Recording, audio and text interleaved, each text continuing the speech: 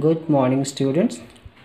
This is my video number 2 on the topic present indefinite tense. Okay? In this video you will be learning about all the different uses of present indefinite tense okay?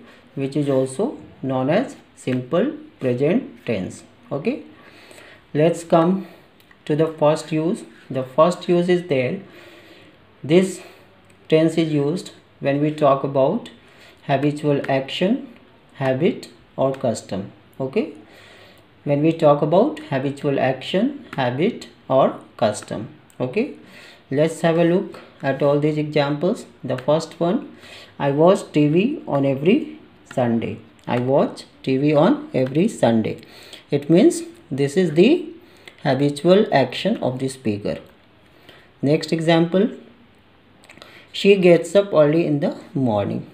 Here getting up early in the morning is the regular habit of the speaker okay next one. He walks in the evening. Means walking in the evening is a regular habit or the habitual action of the speaker so in such sort of cases we make use of present indefinite tense or simple present tense. Okay let's proceed.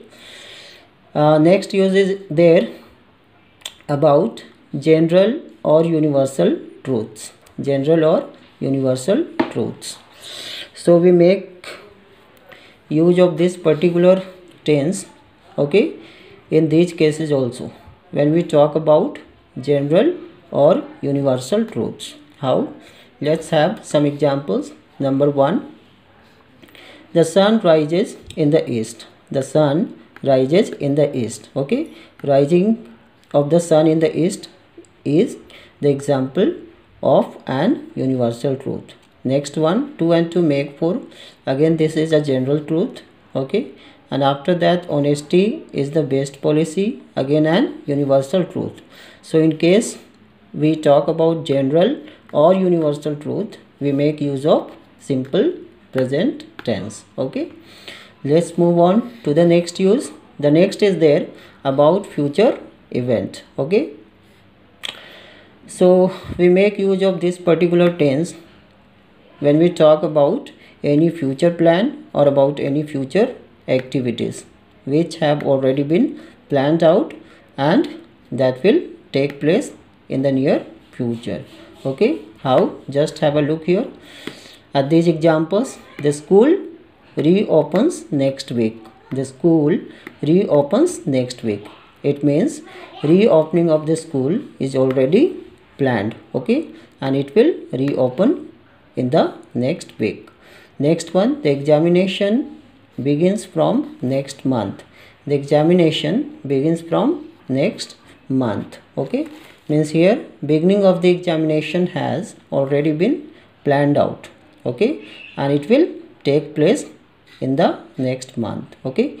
So in such sort of cases also we make use of the simple present indefinite tense okay? Present simple or present indefinite tense. Next what is there? Number fourth okay? This is about introducing quotations with sage okay? In case we have to express any quotation we talk about any quotation about uh, the lines uh, quoted by some speakers some great people. We make use of simple present tense okay? Keats says a thing of beauty is a joy forever. Okay? Keats says a thing of beauty is a joy forever. Next one. Newton says every action has an equal and an opposite reaction. Every action has an equal and opposite and opposite and an opposite reaction. In such sort of cases also we have to make use of this simple present tense. Okay? Next come to the next use. What is there? Vivid narration instead of past tense. This tense is also used in order to make the story or narrative vivid. Okay in order to make the story or narrative alive instead of past tense. For examples ravana fights bravely but he is killed in the end. Okay? So you just take a look of the tense here. The sentence is written in simple past here. But this could also have been written ravana fought bravely and but okay? But he was killed in the end. Okay? This is how also the sentence could have been written okay? So in that case we won't have that vividity of the narration. This way the vividity of the narration would go away. Next one there is a just and placid king in the story. So this sentence again sentence again could have been written. Once there was a king and he was very just and placid. But instead of past tense this has been written in a simple present tense in order to make the story alive. In order to make the story alive and appear it as a original. Okay. Next one what is there? Number sixth one exclamatory sentences that begins with here or there. We make uh, use of this tense when we talk about the exclamatory sentences that begins with here or there for examples here you go there he goes. Okay like this. Uh, we have to make use of this particular tense. Some more examples. Okay there the king goes. Here the king comes. Okay there the queen goes. Here the duke comes. This is how we have to make use of this simple present tense. Okay. Next one and the last one is there time or conditional clauses instead of simple future. We make use of this particular tense simple present tense in case of time and conditional clauses also okay in the place of simple future tense.